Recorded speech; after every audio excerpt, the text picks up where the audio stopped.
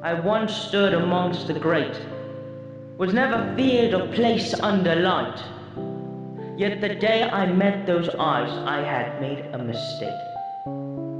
One that stripped me of my life.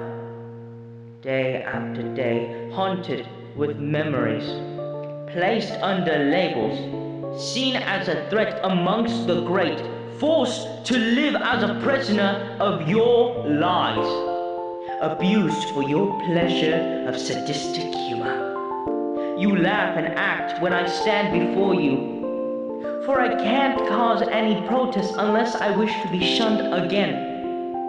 I lost all that I had before. You lied as you spoke the words. I am not a psychopath but human. I am not a sociopath but emotional. I am not feared but hated.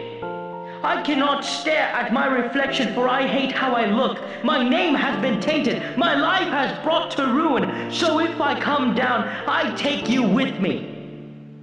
I won't allow for such injustice. I won't allow for me to lose again. I shan't lose what I gained back from your lies. I shall learn to love myself again unlike you.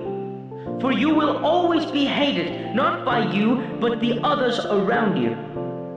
For you bear the hate letter in your name as you lie. And that night won't last you long, for he too will lose more than just his childhood. Your sadistic beliefs won't last you anymore.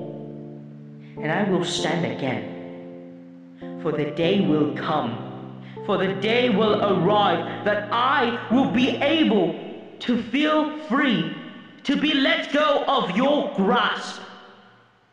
But that day won't come now, but soon.